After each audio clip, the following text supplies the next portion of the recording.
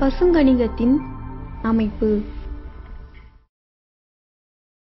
பசுங்கணிகம் ஒளிச்சேர்க்கை நடைபெறும் இடமாக செயல்படுகிறது.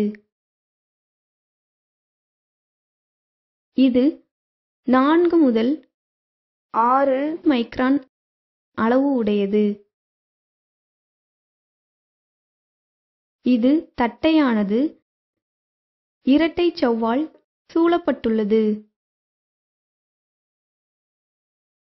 உள்ளே உள்ள திரவப் பொருள் ஸ்ட்ரோமா எனப்படும். ஸ்ட்ரோமாவில் பல கிரானாக்கள் உள்ளன. ஒவ்வொரு கிரானாவும் பல தட்டு வடிவ அமைப்புகளால் ஆனது.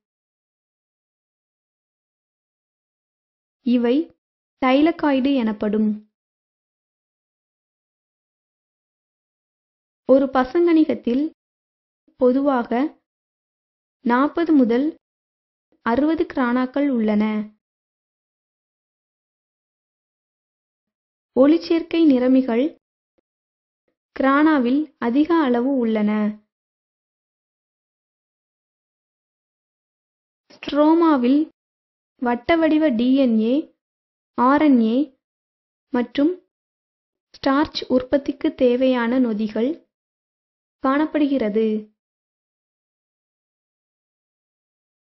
பசுங்கணிகத்தில் பச்சையம், carotenoid, xanthophyll cytochrome, manganese, DNA, RNA முதலியன காணப்படுகின்றன.